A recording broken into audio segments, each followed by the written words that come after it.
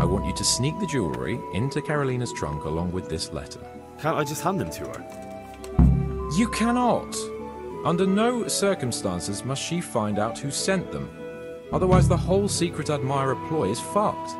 Oh, and by the way, Henry, watch out for the butcher.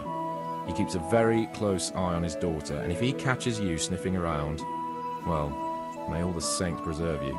Once you've delivered the things, wait a day, and then come back and see me. Take care. I bear you a letter and a gift from a secret admirer. What? A gift? From me? Best keep your voice down. Papa will kill you if he finds out. Yes, for you. A necklace and this letter. Oh, it's gorgeous. Tell me, who is this secret admirer?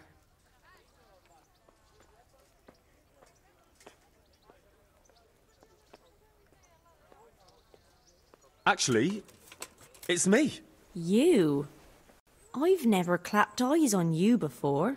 Am I not good enough for you? No. Yes. I mean, I just. Well, do I at least get a kiss?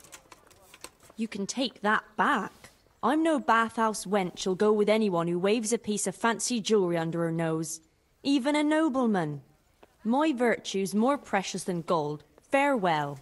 God be I bear you a letter and a gift from a secret admirer. What? A gift? From me? Best keep your voice down. Papa will kill you if he finds out. Yes, for you. A necklace and this letter. Oh, it's gorgeous. Tell me, who is this secret admirer? It's young Lord Capon. What? Really? I can't imagine why he'd choose me. What would folks say? Well, if I were you, I'd look on it as an honour. Well, I've heard a thing or two about him. They say he's a seducer and a whoremonger.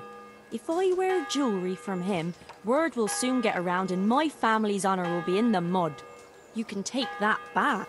I'm no bathhouse wench who'll go with anyone who waves a piece of fancy jewellery under her nose. Even a nobleman. My virtue's more precious than gold. Farewell. Good luck then. Greetings. What do you need? I delivered the things as you asked. No luck. It seems she didn't want the jewellery. But Hans Capon doesn't give up at the first sign of defeat. What, you're going to go to the rendezvous anyway? Certainly not. I'm not going to pounce on her like a bull in rutting season. Her feelings must be allowed to mature gradually. Meanwhile, you'll get a potion for me. I thought you didn't believe in witches' brews. This is no witch's brew, it's an absolutely tried and tested elixir called Musk of Infinite Allure.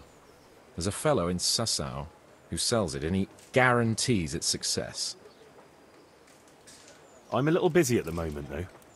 Well, I'll let you off the hook this one time. After all, as I say, this affair must mature gradually. But bring me the potion when you can.